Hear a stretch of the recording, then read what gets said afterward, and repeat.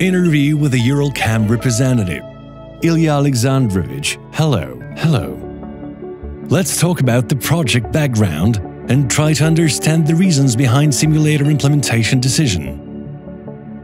We faced the need for components and high-quality training for our employees. Unfortunately, our plant does not allow for employee training on the existing equipment during the year, since it is always energized because of a continuous production process.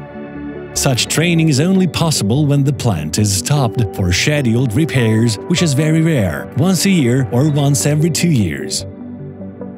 Since employees cannot be trained on the running equipment, gaining hands-on skills may take years. The use of VR simulator will help us dramatically accelerate the process.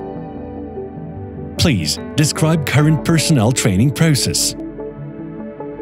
Now, before an employee is permitted to make important critical switching, he must work as an electrician for 2-3 years and take an internship under the guidance of an experienced mentor. Only then he will be permitted to perform some actions independently. Hands-on skills can only be practiced once a year or once every two years, which is hardly acceptable since true mastering requires a long internship, continuous training, and repeated performance of the same sequence of activities. Let's talk about the use of the virtual simulator.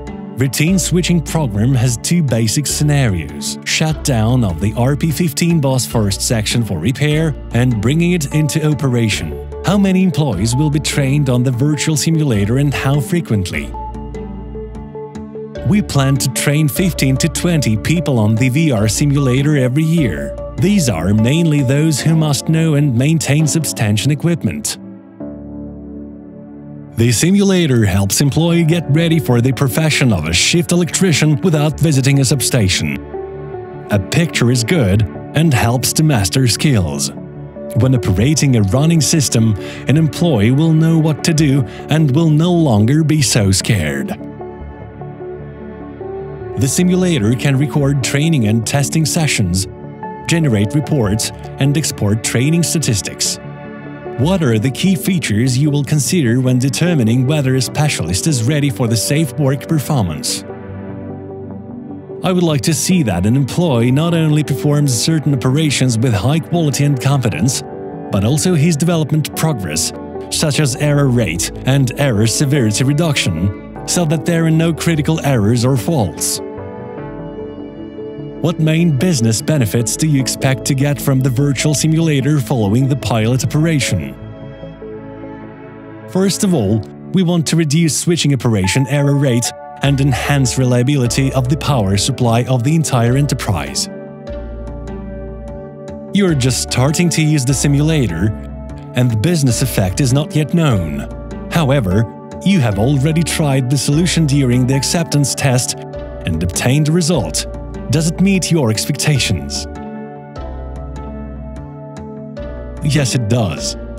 We have done a lot of work to create this simulator, and we hope it will help us a lot in personnel training.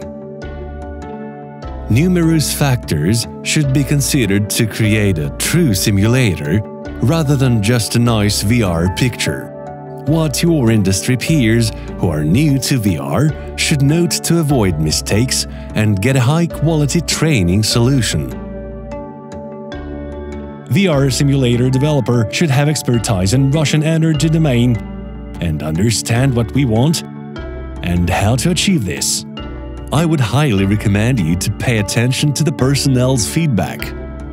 Your expectations should be in accordance with their opinion, as evidently they are the vital resource that's going to bring your project to life. That is, how effective and how useful it will be for the employee who makes switching operations and will rely upon the knowledge gained from this program.